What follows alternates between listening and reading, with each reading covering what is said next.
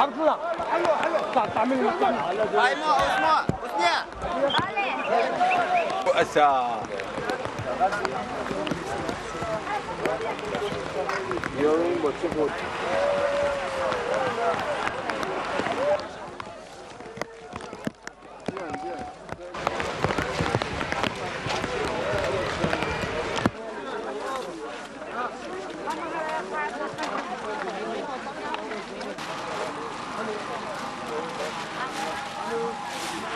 This is a humanitarian, seriously humanitarian situation where you can see if you go to the crowd, you will see women with children, with disabled people. They are all trapped, and the border at the moment remains closed uh, from Croatian side.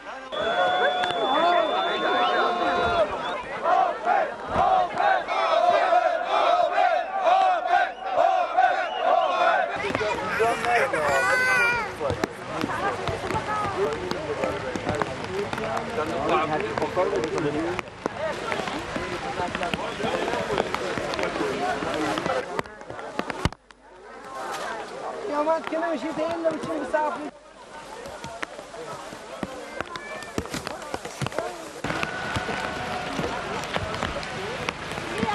Th- This is beyond uh, capability, the resources that there are here already. And the Croatian and Serbian people have been very helpful. The volunteers from both of the countries, Doctors Without Borders, they ran out of medicine. We supplied them. We're working together. They're doing a great job.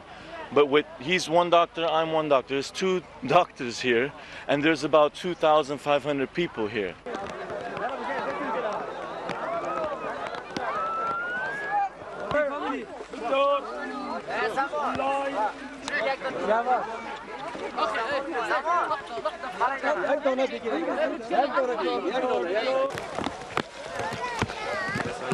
It's it's an onslaught of people that just come and come.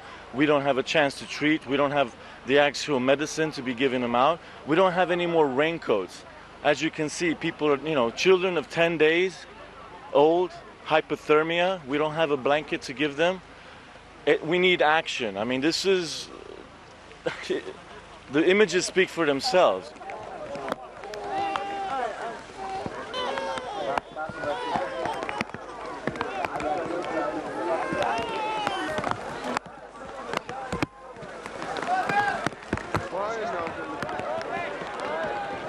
واي يمشي الناس